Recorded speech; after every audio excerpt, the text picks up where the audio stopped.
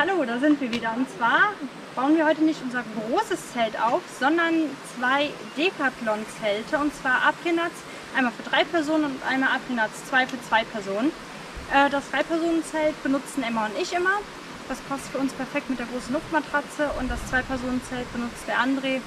Er passt mit dem Bollerwagen zusammen in dieses Zelt. Das war, das muss, das war die Vorgabe. Aber irgendwie so baue ich jetzt kein Zelt auf. Besser. Naja. Besser. Darüber lässt sich jetzt streiten. Ich sag mal angemessener. Obwohl. Meine Schuhe. Moment. So. Perfekt. Ähm, ja, jetzt fehlen mir noch die Zelte. Kriegen wir auch hin. So, hier sind auch die Zelte. Und zwar sind die vom Decathlon, das sind die Fresh and Black Zelte. Wie gesagt, einmal für zwei Personen, einmal für drei Personen. Hier, das ist für zwei Personen, das ist 1,20 Meter mal 2 Meter. Das sind die offiziellen Maße. Und hier ist es 2 Meter mal 1,90 Meter Liegefläche. Ah, ich glaube, Emma, so meine Luftmatratze ist ein bisschen breiter. Wir werden es gleich sehen. Wir werden gleich aber auch noch die Zelte ausmessen. So, und jetzt zeigen wir euch, wie schnell man diese Zelte aufbauen kann. Da waren wir nämlich ziemlich begeistert von. Fertig. Nicht, so schnell geht das jetzt doch nicht. Jetzt kommt das eigentliche Aufbauvideo. Wir wünschen euch viel Spaß.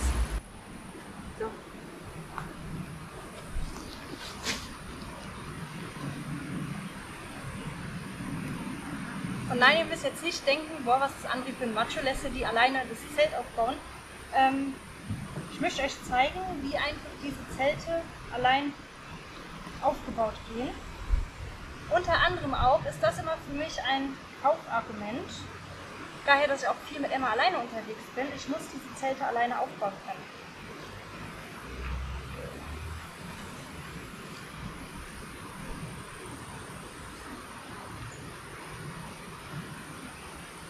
Das Zelt kann für diesen blöden Knoten nichts.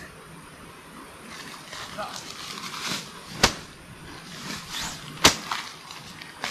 Und zwar hier drin sind einmal die Zeltstangen.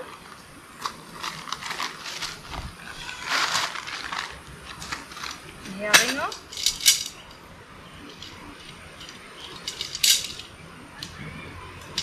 Ach, na, am letzten Zelten hat André die mitgenommen. Ich wollte gerade sagen, warum ist diese Tasche so ordentlich? Ich dachte erstmal, das ist Andres Zelt. Nee, das war unser Zelt. Aber André hatte es zum Trocknen mitgenommen. Das war im Oktober bei unserer großen Wandertour. Ähm, darüber wird es auch mal irgendwann ein Video geben. Die war nämlich sehr interessant. Wir sind etwas über 70 Kilometer, glaube ich, in vier Tagen gewandert. Emma ist über die Hälfte alleine gewandert. Sehr interessant. Und äh, ja, André hatte die Sachen dann hier eingepackt. Man merkt, dass ich es nicht war. Ui, sogar zugebunden. Ähm, hier ist das Außenzelt und hier ist das Innenzelt. Das hat dieses äh, Fresh and Black. Oder? Ne, das Innenzelt. Das Außenzelt hat, glaube ich, dieses Fresh and Black. Entschuldigung. Muss ich kommen. Oh, hier. So.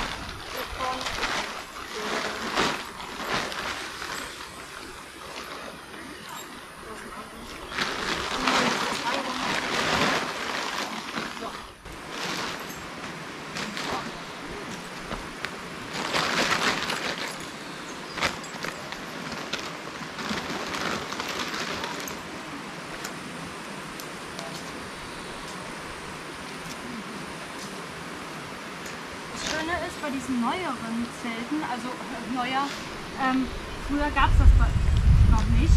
Die haben alle hier unten diese Stifte. Da kann man nämlich jetzt erstmal alles reinstecken und es hält.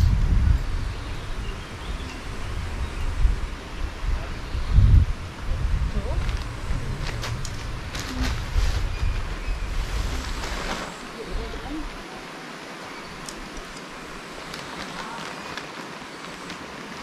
So.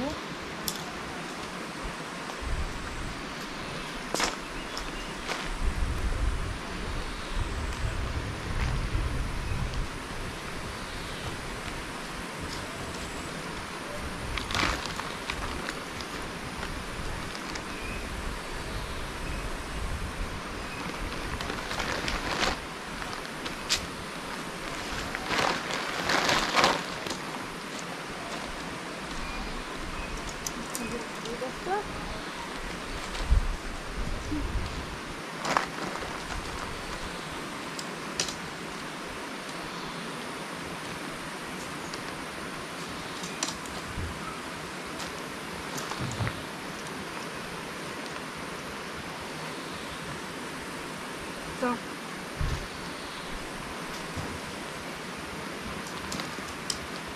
Zelt steht quasi schon fast. Wie ihr seht.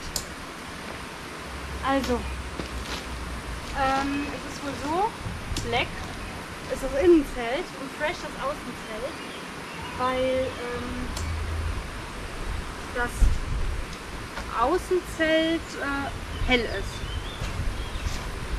So. Dann hauen wir noch gerade die Heringe rein. Eins, zwei, vier. André hat eben gesagt, nicht selbst verletzen, dieses äh, Grab.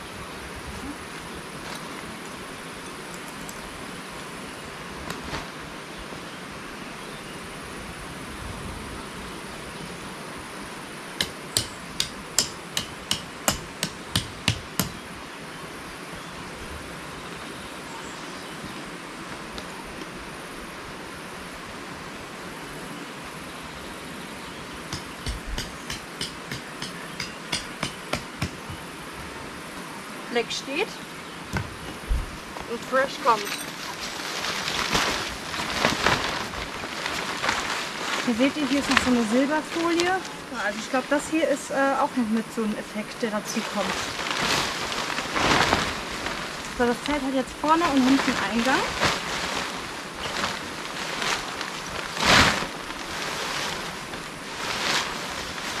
Je nachdem, wer vorne reinkommt, da kann man hinten schnell äh, raus. André grinst. So.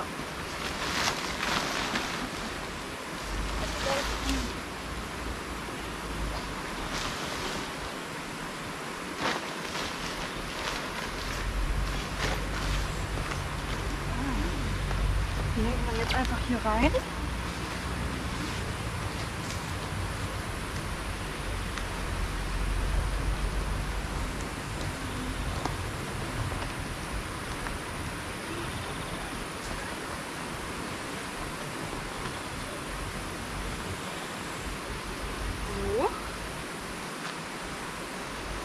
Und dann haben wir hier vorne noch äh, ein, eine Schlaufe für den Hering. Mal überlegen, ob ich die reinhaue. Ich mache jetzt mal die Seiten fest.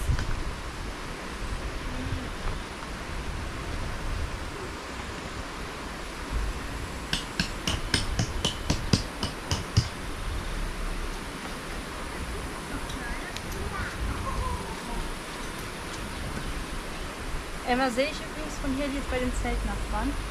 Oder beziehungsweise die Nachbarn haben Wohnmobil. Und die hatten sich dann einen Liegestuhl hingestellt.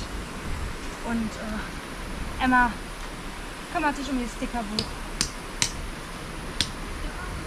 Ah.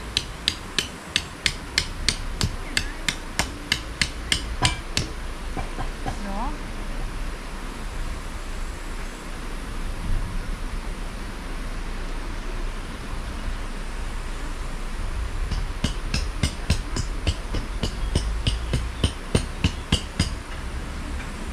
Hier hinten ist auch drin. Und ich werde jetzt einfach ja, hier vorne auch mal gerade befestigen. Funktioniert.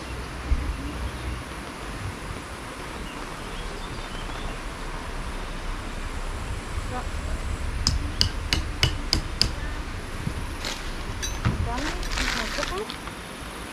Gab es keine Schnüre? Sturmseile?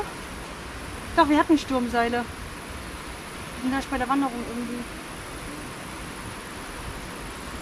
Ich habe gerade festgestellt, die Sturmseile sind anscheinend zu Hause. Die hatten nämlich bei der ersten Wanderung nicht befestigt und auf Seite gelegt.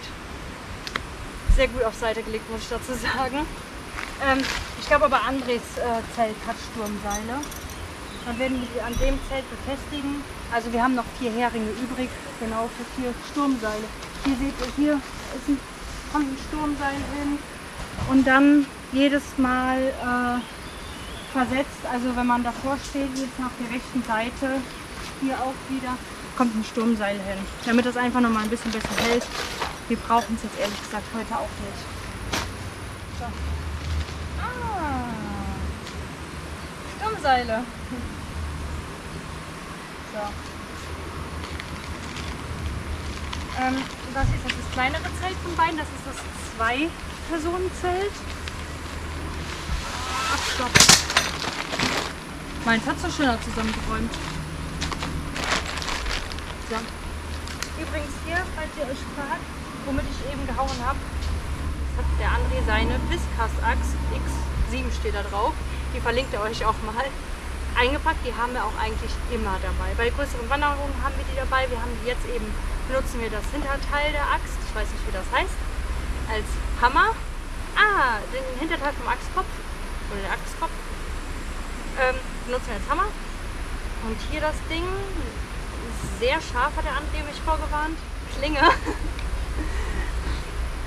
ähm, da macht der André auch schon mal ganz kleines Holz mit. Wir probieren jetzt auch noch äh, etwas aus heute Abend. Da gibt es nämlich dann auch noch passend ein Video zu.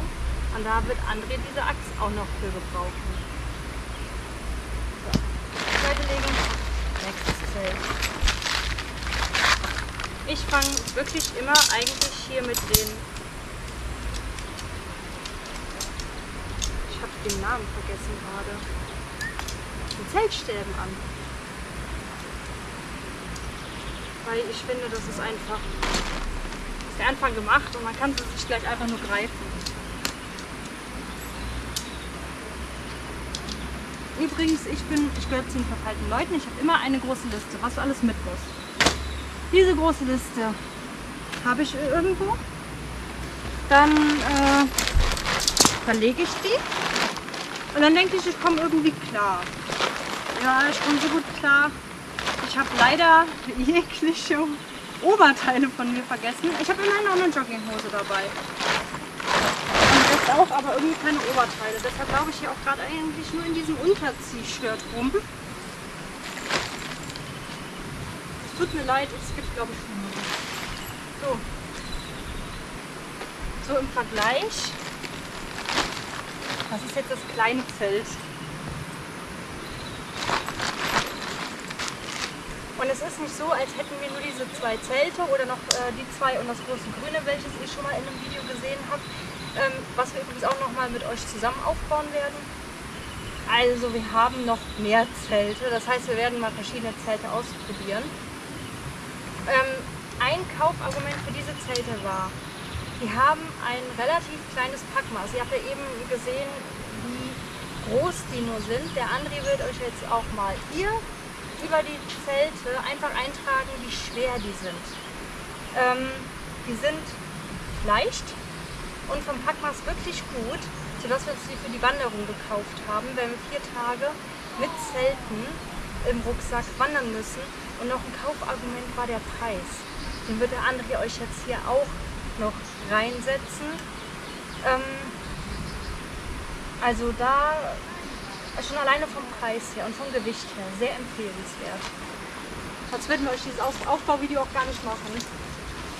Ähm, wir machen nur dazu Videos und empfehlen auch nur das, was wir wirklich, wirklich gut finden.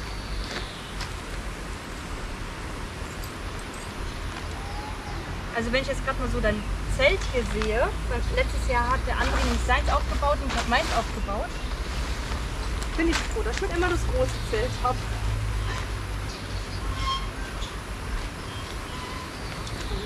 Anders. Hier.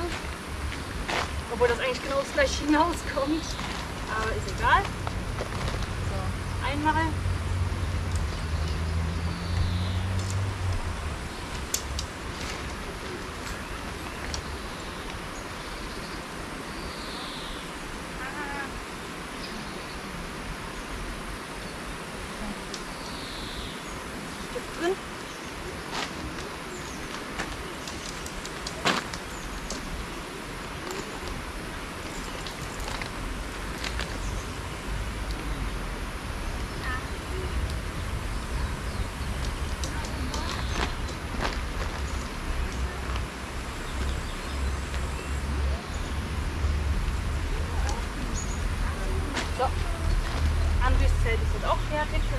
Reicht das?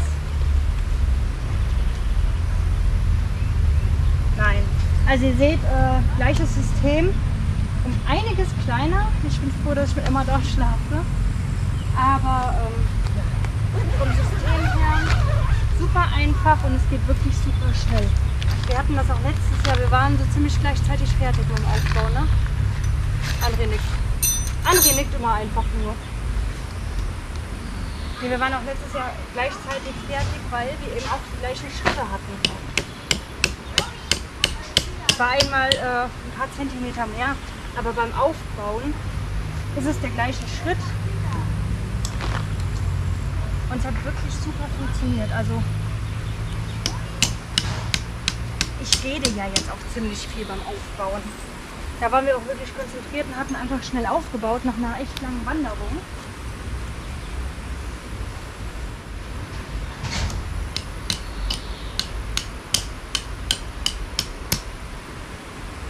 Beinahe was gesagt.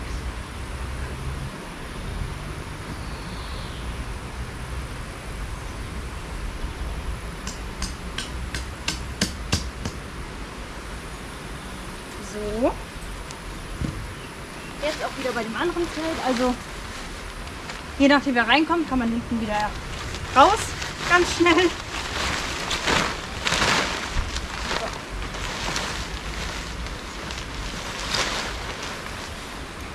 An, äh, fresh drüber.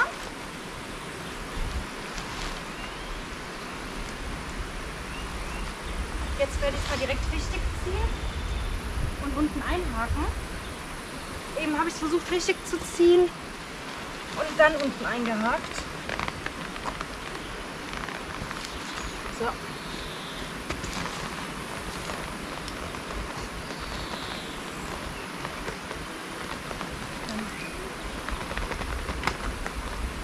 Den Hering hätte ich ein bisschen versetzen müssen.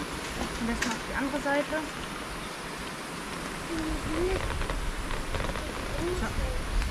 Funktioniert.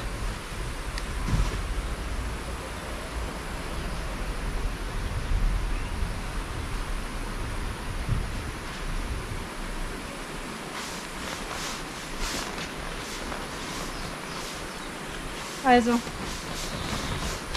hält auch so schon. Ich werde jetzt die Heringe reinschlagen. Und hier ist, äh, hier sind die Sturmseilbefestigungen direkt hier auf der Ecke. Also ich müsste jetzt hier noch ein bisschen richtig ziehen. So, richtig drauf liegt. Aber hier könnt ihr jetzt mal sehen. Hier ist das Sei äh, die Seite. Und das ist quasi in der Seite vernäht, sodass nach vorne zeigt. Hier spiegelverkehrt genau das gleiche. Ich werde jetzt noch die Nährringe reinschlagen. Und äh, möchtest du deine Sturmseile befestigt haben? Nö. Sturmseile lassen wir mal.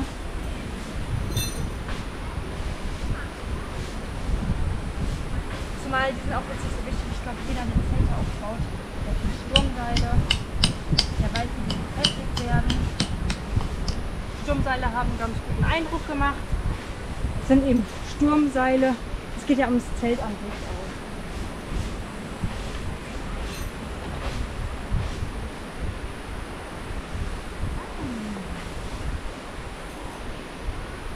Ich glaube. Ah, du hast vorne keine Befestigung. Deshalb sind Sturmseile wahrscheinlich auch vorne und nicht auf den Ecken. Du hast vorne diesen schwarzen Ring nicht.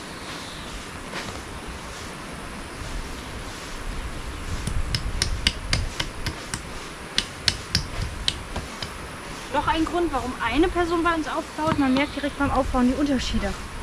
Also, hier vorne fehlt ein andere der schwarze Ring. Hier seht ihr, ist gar nichts da. Äh, das Zelt hat den schwarzen Ring. Ups, also hier müssen wir noch ein bisschen befestigen. Ah, das liegt hier unten dran. Machen wir das so. Also ähm, es gibt ein paar Unterschiede, aber nur so minimale. Sturmseile hier halten hier das Seil, hier an den Ecken und zwar jeweils. Nein, tun sie gar nicht. Okay. Ich habe mich vertan. Hier die Sturmseile werden genauso wie da befestigt, aber ich habe das Ding so ein bisschen schief aufgeschoben. Wird aber gleich noch ein bisschen nachgezogen werden. Ähm, einziger Unterschied ist, der, äh, die Befestigung vorne fehlt beim André. Genauso hinten. Aber, ähm, ja. Zelte sind jetzt ganz schön schnell aufgebaut. Und äh, ja, drin schlafen kann man auch super. Und darauf kommt es, finde ich, an. Wir erzählen euch aber morgen nochmal, äh, wie die Nacht, denke ich, war. Übrigens, diese Heringe, also ich bin schon alles Mögliche an Heringen gewohnt. Man haut mit dem Hammer drauf, die gehen kaputt. Die verbiegen, beim Rausholen verbiegen die zum Teil. Diese Heringe sind super dick und also die haben eine super Qualität. Ich habe jetzt hier eben eine Axt, also hinten mit dem Kopf der Axt. Heißt das Kopf? Ja, André nickt. Wir müssen, also wir, wir haben schon gesagt, wir filmen demnächst mal André hinter der Kamera. Super. Ähm, also ich habe jetzt hier auch drauf gehauen, wir haben die auch schon rausgezogen, alles. Da passiert gar nichts mit. Also es gibt auch Heringe, die kann man einfach so verbiegen. Hier passiert nichts. Die Heringe alleine sind schon super. Schon alleine für diese Heringe lohnt sich dieses Set.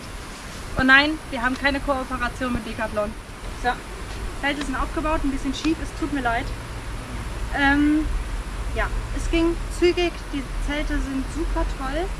Äh, wie gesagt, äh, vom Gewicht her, vom Preis her, vom Packmaß her, vom Aufbau her. Ähm, die sind angenehm dunkel. Mal gucken, diese Nacht verbringen wir die erste Nacht in den Zelten, wo wir nicht K.O. sind von einer, wie viele Kilometer waren das?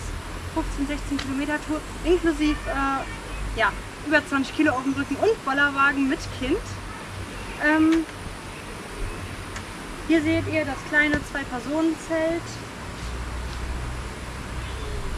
Apelnatz 2, das ist übrigens Apelnatz 3. Äh, ist niedriger, ist höher, also das ist höher und es kommt mir fast so vor, ihr werdet jetzt sagen, von eurem Blickwinkel, nein, definitiv nicht. Also von hier sieht das hier doppelt so groß eigentlich aus wie das hier.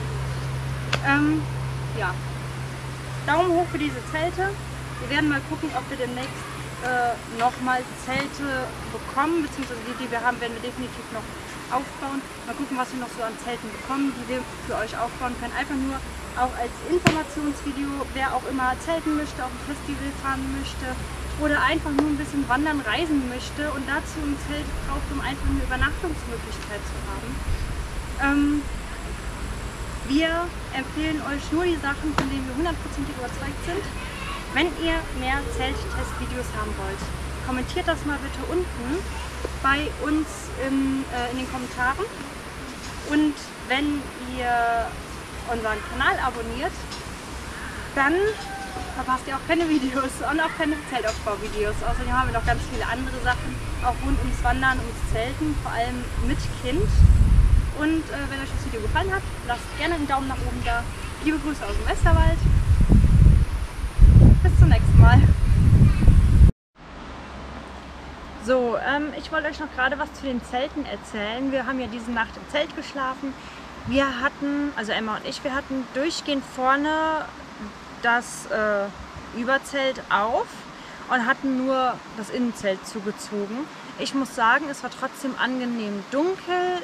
Heute Morgen ist mir aufgefallen, auch gestern Abend, ich konnte, also durch das Mückengitter oben im Innenzelt, konnte einen Sternenhimmel sehen. Das war richtig schön.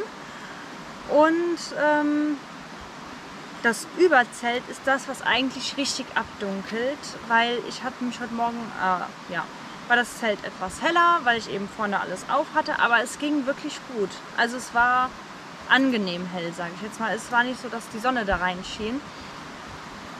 Klare Kaufempfehlung, würde ich sagen. Also wir sind sehr zufrieden mit den Zelten und äh, André hat, glaube ich, auch ganz gut geschlafen. André nickt. André hat gut geschlafen. Ähm, ja. Äh, wir haben eben gefrühstückt und ich werde jetzt duschen gehen. Bis zum nächsten Mal.